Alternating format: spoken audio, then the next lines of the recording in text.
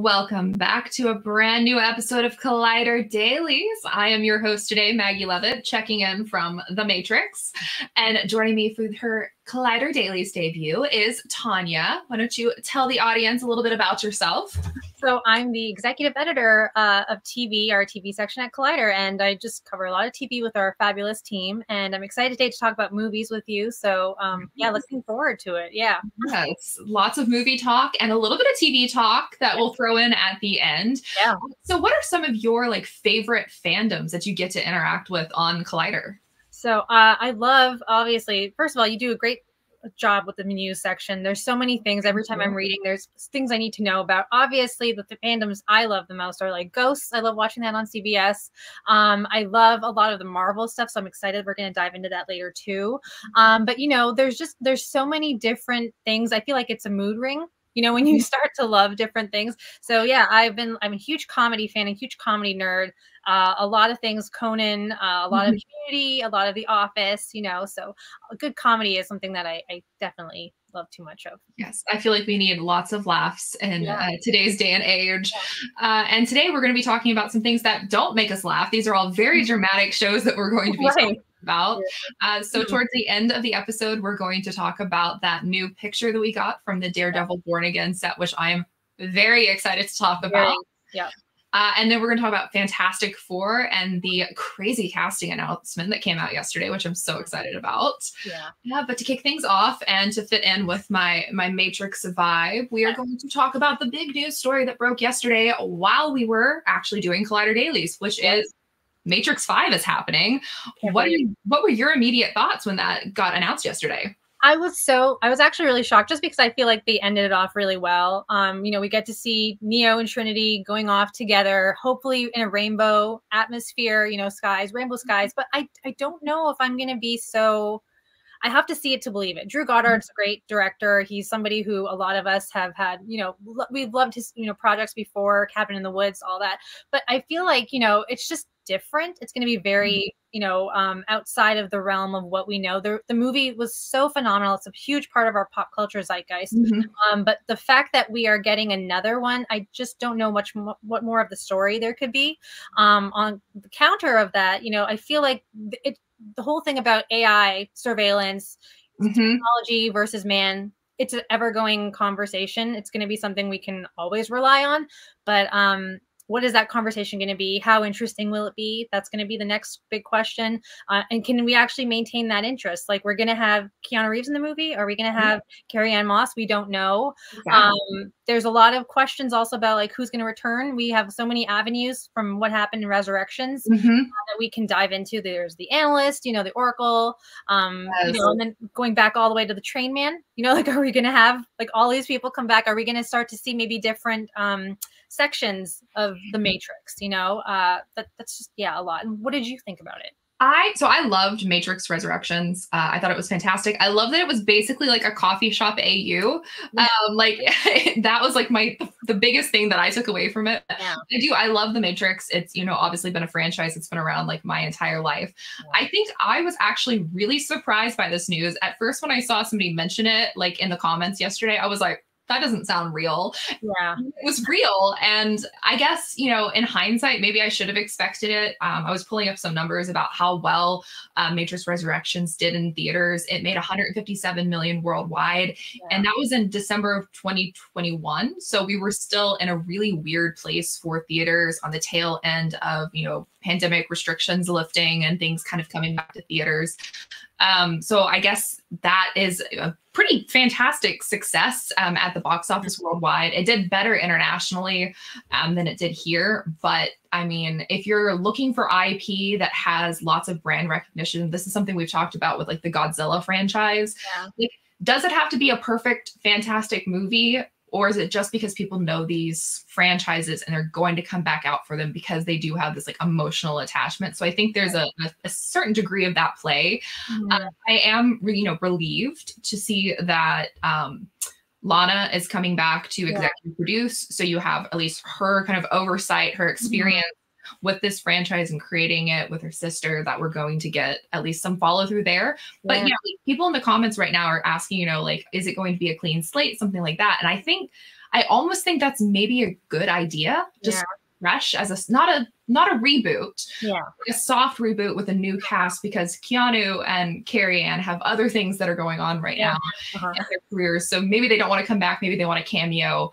But mm-hmm. it does seem like a franchise that could continue to expand. Yeah. So I guess we shouldn't have been surprised. Yeah.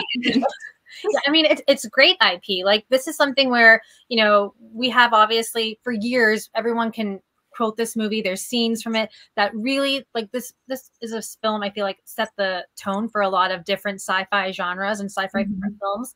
Um, one of the things that I think is so interesting though is like you know you said about fans. You know, are we just gonna though cater to the fanfare of things? I feel like that's mm-hmm. the issue we need to know about. Is the story going to be strong enough? You know, sometimes we can have these things where we've got movies that are part of a a, a great IP, um, but you know, just kind of chopping up more movies. You know, we've seen it in so many different. I'm not even going to note them, but there's so many different movies. Uh, yeah, we well, they're franchises we love that they've made other movies that we just didn't like.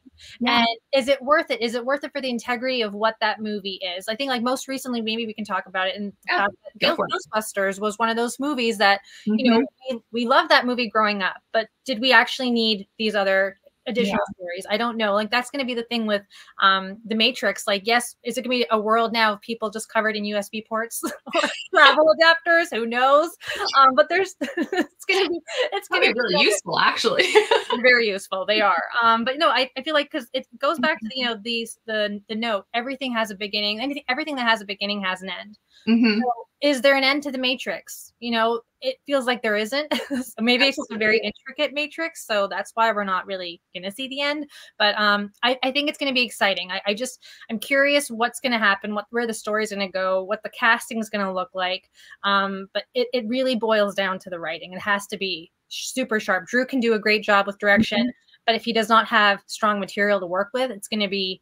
Um, and he's the one writing it too. So I'm like, hopefully yeah. he has the ability to do both because sometimes we've seen yeah. writers, directors take on too much. Yeah. Directing and the writing can sometimes kind of overwhelm you a lot when there's you know a lot of different factors going in especially if you know warner brothers has a really clear image of what they're wanting this to look like and it might be in discontent with what their vision is for the you know story so I guess we'll have to wait and see. Um, mm-hmm. I, I, do want to call out one comment from mm-hmm. um, the chat. Love this idea. The Matrix reboot it. Keep with all of the the R titles uh, for the, the, the sequels, and there we go. That's the title right there. You hear it yeah. here first. that should be it. Definitely. I love that. Um, hang on. There we go. Hmm. Uh, so now we are going to move on to uh, something that I feel like is actually very fitting for today because it is actually Fantastic Four Day. It is yeah. April 4th.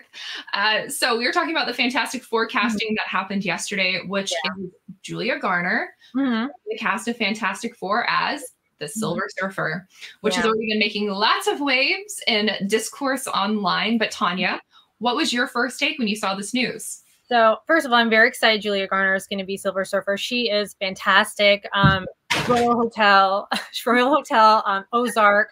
You know, she's really coming into her own, and I think you know she's such a talent that's going to really come to like bigger eyes with you know the Marvel universe. Um, I love this whole thing because you know um, Matt Sh- uh, Shakman, he uh, Shakman, is it Shakman? Mm-hmm, Um, yeah, he uh, has come from TV. You know, WandaVision. He's directed a bunch of Game of Thrones episodes. He's mm-hmm. um, you know had a lot a long storied history in TV, and I love that TV writers when they get into directing, it's such a different realm because we actually as viewers get so much more from them because they mm-hmm. have that background. Um, there's a lot more detail when it comes to TV because they have to, you know, do a lot of things. There's, uh, you know, taking 30 minutes of a TV episode, you know, cramming all the story in. And, you know, the fact that he's won uh, awards for WandaVision also, he's yes. the universe before. So um, I think, you know, we're in good hands with Fantastic Four.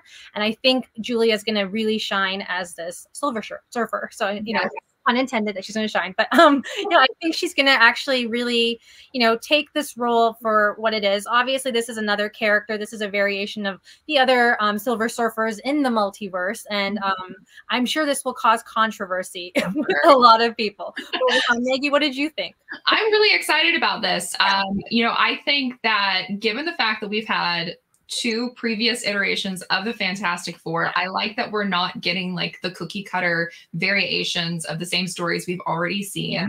Um, I was really excited that they also led with the information that she is playing the Shalla-Bal version of the character. Mm-hmm. Um, that character was first introduced as like the Empress of Zenn-La, and she went on to become a love interest for the Silver Surfer. But in a miniseries set on Earth X, she was Silver Surfer. So that kind of gives us maybe some clues as to where things are going with the actual plot of the story. Mm-hmm. And then we also know that, you know, one of the big aspects of her character in the comics through almost every run of that character is that she faces off against Galactus. Yes. Um, he usually is like threatening her home world because she's like a humanoid alien. Mm-hmm. Um, so clearly we're getting Galactus, and there mm-hmm. were a couple different reports yesterday from Deadline and Variety that were very clearly hinting at the fact that Galactus is most likely going to be the big bad of the Fantastic Four franchise.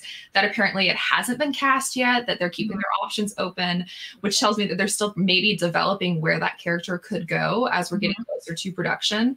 But I did think it was really interesting that today Marvel put out five um, or four free ep- free issues of Fantastic Four. Way too many numbers. um, they put out four free hmm. issues of Fantastic Four comics in honor of it being Fantastic Four Day, right. and it is intended to keep people getting ready for the movie. And so I mm-hmm. think that once people have some time, I have not had time to go back to read these specific issues. It seems like maybe they're trying to like set the groundwork for like what the story is going to be about. So the suggested reading was Fantastic Four issue one, which was in 1961, Fantastic Four issue 48, which was the first appearance of Galactus and Silver Surfer. Mm. And then um, Fantastic Four life story number one. So there's definitely some stuff that we need to start reading, dig yeah. into, see what we can find about mm. what Marvel is trying to hint at, you know, the direction things might be going. Yeah perfectly honest, for me, as somebody who is a well known Marvel cynic, I mm. actually, this is the first time that I felt really engaged in things because it feels like everything's not super secretive this time. Like they're giving us more information with the casting information. They're pointing us in directions of like things to look at to get excited. We're getting all the stuff that's happening with like the Daredevil sets and like yeah stuff that's happening. And I think that this is a really smart um, move because yeah. it doesn't seem like they're trying to squash too much of like this information that's kind of out there. That I think maybe we're seeing a pivot in terms of Marvel's marketing to try to be more grassroots feeling, more fan focused. And I think that's the way forward. Yeah. And that has me the most excited. This feels like old school Marvel in a yeah. lot of ways. It, it's so interesting you say that because I feel like it's that they're they're being so confident in telling us all this information and it kind of makes me think that this is going to be one of those movies that sets the universe up in a different direction it's, it's going to it's going to be leading the, the the charge the way the avengers movies did and um I think that's going to be something exciting to see. Obviously, we have a great cast. An amazing cast. Yeah, we have Vanessa Kirby, Ebon Moss uh, Moss Bachrach, and we have Joseph Quinn, who everybody just loves. He's like our boy of the, of the century. Um, but no, I, I feel like there's so much, you know, they're they're building this up and it's something that I think, you know, a lot of us can be excited about. Mm-hmm. Um, it does feel like, you know, it's gonna it's going to launch the Marvel universe in a different direction. I really do think this is going to be, you know, we had all these other movies, we had those TV shows, a lot of them were failures. Um, but you know, we don't have to talk about those shows. They're on Disney Plus. watch them. Um, not all of them were great, and um, you know, that's something that I think a lot of the fans were just disappointed with because they were such great characters, mm-hmm. to give them, you know, pl- to plot them into stories that were just not strong enough. Um, you know, the movies have always been so superior, and then just to kind of have TV shows that were not great. But you know, with this direction now, I think we can really reset things, yes. and we can actually really see a different direction for what Marvel should be. You know, because it is such an amazing IP and it is such a great, you know, piece of pop culture history. I mean, I would not complain at all if they completely reset where they were headed with some of the other Marvel yeah. movie concepts that were clearly being laid up. If they yeah. just invest completely into the Fantastic Four cast and what they can do mm-hmm. with that, that family could very easily be your next Avengers. Yeah. You have the star power there in the same way that the original cast of the Avengers had that. Not like they are not A-listers, but they have huge followings individually and together mm-hmm. that kind of makes it like an A-list cast. Yeah. I think that there's so much potential with this idea that's going to be set in like the 1960s. Yeah. There's a lot of like fun stuff that you can really get into that would set it so far apart from the Avengers era that you would have like such a fresh new like play field to you know playground to you know a whole field to kind of play with and explore and i'm very excited for that. Yeah, i'm very excited. There's gonna i feel like there might be also parallel stories that run you know when we see something because it's in the 60s so are we going to see tony stark's dad? Like you know, stark somewhere? Who knows yeah. really fun. Yeah. I'm so excited. Okay, I'm going to pull a couple comments mm. from the chat because obviously John is here joining us from the comments. Uh, and I love this. I all I need is for Galactus to not be a cloud this time. Yeah. This is very true. And mm-hmm. I have seen a lot of people theorizing that Galactus, depending on the storyline they go with, it could be old Franklin, which if you know, you know, mm-hmm. that could be a really interesting storyline to yeah. dig into. So maybe they'll go that way. Maybe it'll be somebody entirely different. Because yes, yeah. there has been these rumors that it could be Javier Bardem, who mm-hmm. I would mm-hmm. love to see be in Marvel. I think he's fantastic. Oh, yeah. oh he's so great. And I think he could be a great villain. Um, mm-hmm. As a known villain lover, I do I do love my villains to be hot. So right. Javier Bardem does fit mm-hmm. that category right. quite well. He does. Um, but it's just it's so exciting that mm-hmm. there's this whole new. It feels like a, a, a reboot. Yeah because it's so fresh, it's so new, it's in a completely different era. And I yeah. just, it has me excited again, which I haven't been super excited about Marvel since like a long time. America. Yeah. no, I, Captain America, these origin stories before it got like too big and convoluted, the, like mm-hmm. those were the ones that I was engaged with. So I'm very excited. Yeah, it's, it's going to be great. The, the, the 60s, that's going to be a nice era to play with. I think the costume design is going to be amazing. Uh, the color, the vibrancy, the whole palette, that tableau is going to look yes. It's yeah. really cool. And I love the posters they've been putting out for it. The one uh-huh. for, you know, the announcement for the cast, and then the yeah. one today for Fantastic Four Day. Mm-hmm. Um, it just is very cool. The aesthetic is perfect. I'm yeah. very excited. I'm I'm also really excited for the merchandise. Like I'm already thinking about like the Loungefly backpacks and uh-huh. like the pins, the exclusive park pins, and like all of the things they can really lean into with this entirely different aesthetic. So I'm very excited about that. And I'm also, yeah. I really hope they don't push the date. It's gonna be July 2025, right? Yeah. So so hopefully- allegedly they're gonna be filming soon. So I guess we'll know sooner or later if they're going to meet that deadline. Um, yeah. But it also means that like maybe we'll get some information at San Diego Comic Con. Like if they start filming in enough time, maybe they'll do first looks. Maybe yeah. they'll come back to New York Comic Con. I'm I'm holding out hope that New York Comic Con will once again be Marvel's like place to unveil things mm-hmm. because. Mm-hmm we're getting so much information about Daredevil Born Again. Look at that segue today, guys. I had a segue there. Uh-huh. and so much was always kind of yeah. unveiled for the entire Daredevil uh, kind of universe at mm-hmm. New York Comic Con because it's so heavily based in New York yeah. City. And that leads me to our last topic of the day, mm-hmm. which is just hours after we finished yesterday's Collider Dailies, where I was saying I desperately needed a picture of Frank Castle and Karen Page together again on set. Jon Bernthal delivered. Mm-hmm. A lovely set image of he, um, he and um, Charlie Cox and uh, Deborah Ann Woll sitting back, I guess, behind the scenes on uh, the night they were filming. It brought everybody back to life again. Now I know you have not watched hmm. Daredevil yet. No, I have not. The last Daredevil I watched, for everyone's disappointment, was 2003's Daredevil. so I'm just saying, I like that Daredevil too. Yeah, I am pro Ben Affleck. So yeah, me too. and to talk about another like Garner, Jennifer mm-hmm. Garner as Elektra, yeah. loved her. That was yeah. my like concept of Elektra. Mm-hmm. Um, but I do want to know, as somebody who not invested in Daredevil the way mm-hmm. that so many of our coworkers yeah. are. Of course, they're they're obsessed. There's yesterday's Slack. I just have to note yesterday's Slack went chaotic because everyone was like Jon Bernthal. So Jon Bernthal, Castle, Karen Page. It was great. Yeah. I love to be surrounded by a bunch of Castle fans. Yeah. I love that my phone was going off like mm-hmm. crazy yesterday with people messaging me. Yeah. The entire timeline on Twitter was going wild with all the Castle babes. Everybody was back. Uh-huh. But I want to know all of this excitement, all of this like chit chat about uh, Daredevil that's been going on has it made you interested in going and watching it on Disney Plus? It has. Honestly, this is one of those shows I've always had on my list to watch, and I just never find time. And I'm that terrible person who will re-binge a show I've already watched. And I don't know why I do it. I just do. But I have wanted to watch this for a long time. And then when it, you know, went off Netflix, and I was like, oh no, where is it going to go? And it finally went to Disney Plus. Now's the chance I'm going to do it. Like it, there's there's so much there. I love that Daredevil character. I think he's great. Um, I've not been, you know, so. uh you know understanding of like the Punisher character. I've never really mm-hmm. watched it. I never really read the comic books.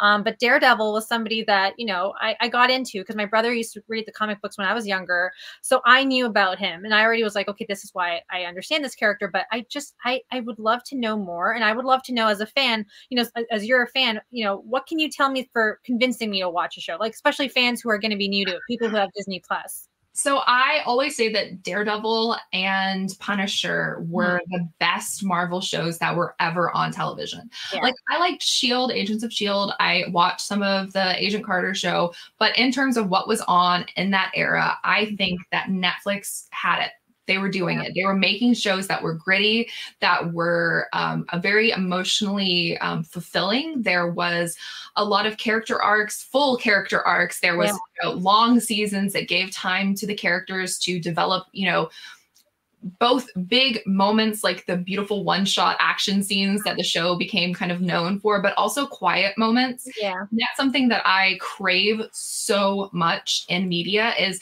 mm. I want to see the characters like shooting pool after a hard day at work. I want to see them going out to drinks after somebody just got like the crap beat out of them. Yeah. I want to see those like very human moments that make yeah. the characters um characters that you keep wanting to come back to that become comfort watches in the same way that like it's very funny to compare these two shows, but in the same way that like New Girl is a show that I go back to and like a comfort watch. Yeah. Daredevil and Punisher became those shows because those characters had so much time to like take flight inside of me. Like they, yeah. they, you know, put roots in themselves, like of themselves into like who yeah. I am as a person because mm-hmm. they had so much humanity in them. And I think that was what was lacking in some of like Agents of S.H.I.E.L.D. for me. I didn't necessarily yeah. feel emotional attachments to those characters, except for Grant, because again, I like bad characters.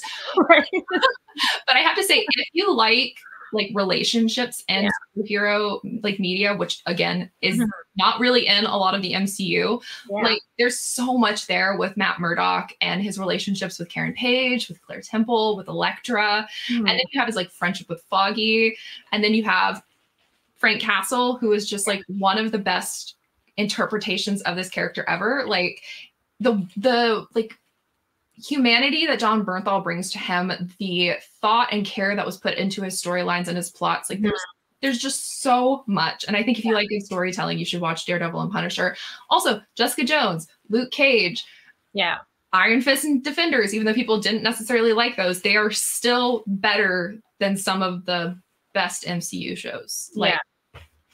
so that's right yeah it, it, aligns really well just because like these are characters that are so there's so many different layers they are mm-hmm. so nuanced um to kind of give them that tv format works that's yeah. what makes it work so much like you you can you don't have to have that so much with like captain america or, or you know mm-hmm. iron man you get those in the movie and that's enough because yeah. whoever they are speaks for it this way, you know, getting to know these characters, I feel like that's what makes me want to watch it because I want to see stories that are very just seasoned well. Um, there's a lot of flavor to these. There's, it's just nuanced. You need to have a story that that's what it is with TV, right? You just need you want them to be a lot more detailed, stretched out to the point where it's and you can understand and connect with that character. Yes. So that's something that I'm I'm very looking much I'm very much looking forward to. I, I know I'm gonna watch, watch it. it. I know you will become a Frank Castle, Karen Page, really like the rest of us. I can yeah. send some fan videos to like set you up to mm-hmm prepared for them. There's just, and they're not even like an actual relationship, but they're still again a better relationship than some of the actual relationships we've seen in Marvel. Which yeah. Speaks volumes, and that's why I was so excited at the confirmation yesterday that clearly Karen and Frank will have some sort of scenes in Daredevil Born Again. It's been yeah. so long. Um, mm-hmm. These are characters that have like I have mattered to me since 2017 and have mattered to this entire fandom. And I think yeah. it's it's really cool that we're getting so much, you know, content from them because Jon posted it and then Deb reposted it and it just everybody was so alive. When was the last time you remember seeing people that happy about a Marvel property? Yeah. That nobody was fighting, everybody was just excited and crying and screaming and puking. Mm-hmm. like, like, we've seen that before. And I hope that Marvel is watching and I hope that they're yeah. seeing the way that people are reacting to this and kind of maybe going back to those roots. Yeah so perfectly with our conversation about Fantastic Four, you know, getting yeah. back to what fans care and like and like gravitate towards. So I'm really happy to to be here talking about Daredevil Born Again again. Mm-hmm. I see I worked my, my title into it. you did. Uh, can't wait to have you come back onto Collider Dailies after you've watched Daredevil and Punisher mm-hmm. so you can actually give us your thoughts yeah. on it. Because I would love to know this many years later, mm-hmm. getting into that fandom and seeing that for the first time. Yeah, I would love to do that. That would be awesome. Yes. So, as we wind down on today's episode, is there anything that has recently come up on uh, Collider this week or you have coming up that you would like to tell the folks watching about so they can go see any interviews or reviews or any content that you've put out lately? Yeah, so obviously we have uh, so much Shogun coverage. Shogun has been such an amazing show. We are so excited for what more we're going to get from this. Obviously, X Men has been amazing. It has been something that all of us at, at, work, I think we're all just so like we're thirsting for it. It's really good. Um, so there's so much coverage on on X Men. Um, we've got a bunch of interviews coming up. Obviously, Steve has himself busy with like mm-hmm. a lot of movie interviews, but um, we also got you know our our lead news uh, our, our lead um, uh, TV editor uh, Carly having covering a lot of uh, she's gonna be covering Bridgerton soon, so we'll be yes. for that. excited about that we're very excited. It's it'll be a fun season for TV. We have a lot coming up, and um, yeah, Collider, Collider's features and our resources and news list, everything we've got so much for you guys just to tune in. But do you have anything that you've recently done yourself? Anything cool? Do I have anything? Um, I've got uh some. I've got a set visit coming up, so Ooh. that should be fun. It's for reality TV. It's for Crime Scene Kitchen. So.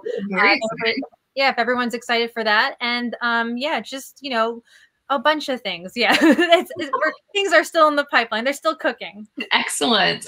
Uh, for myself, I uh, just posted my interview with Tom Felton this morning. That was a really great conversation, looking back at Harry Potter, uh, mm-hmm. and he's just wonderful. Um, it's always really great when you get to interview somebody who, like, he's not that much older than me, so like I feel like I've grown up watching him on screen, and then to like actually meet him and talk with him and yeah. see that he really is just as like wonderful and delightful as he appears to be, which was yeah. great.